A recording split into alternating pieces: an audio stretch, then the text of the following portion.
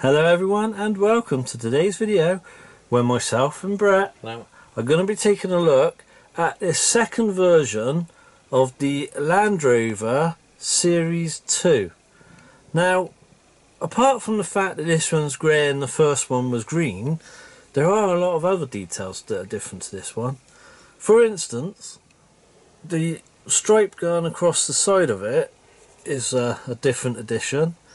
And if my wife can get hot to see the back of the windscreen, the way they've done that is completely different. Like the stickers that was on the original one are missing, and also something I loved on the original was they had a little like little tax disc on there, and that's missing off of this one, which is a little bit of a shame, but it does mean that you've got something that looks a little bit different.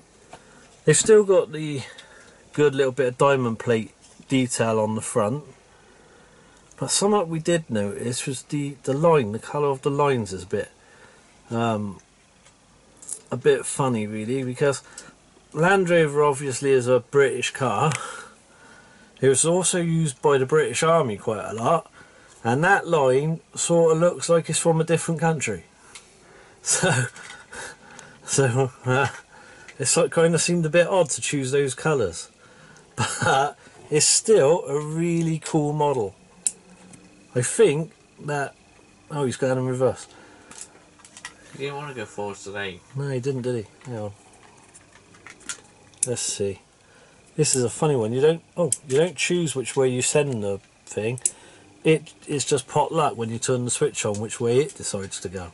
This one's great, isn't it? But it still looks like a really cool model. I still really do like it.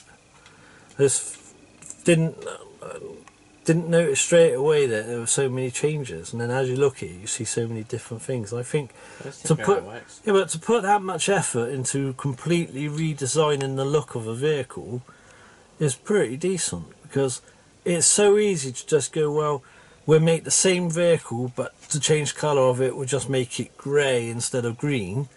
But they went all out with this. It was change it from green to grey, put the stripes on, change the, the stickers and all that that are on the back of the windscreen. Like this one, the stick on the back of this one's Land Rover. It's the Land Rover symbol. So I appreciate the details. I appreciate the fact that they went out and redesigned the look of it. And it does make it look like a different. It's a bit like if you lived on a street and two people had the same car, but they wouldn't be exactly the same. There's some differences to them, and I appreciate that. I think that's a really cool car, and I'm glad I found it. Because I've actually been on a dry spell of finding cars, because from the first lot of Case A, which was in about December or January when I found those, I have hardly found any cars at all since then. And luckily I found some necessarily now. No, it is. A, if you go to any shop, there are some cars there. Yeah, there's some cars, but they're older cars, you do not. know You didn't specify. B, if you go onto any road, this is a guarantee, you will find a car driving past or parked. That's your donut. You never specified what type of car either. Anyway, so that's going to be a quick look at this car. I think it's an awesome model. I do recommend picking one up if you can find it. But for now, if you like this kind of thing, please consider subscribing.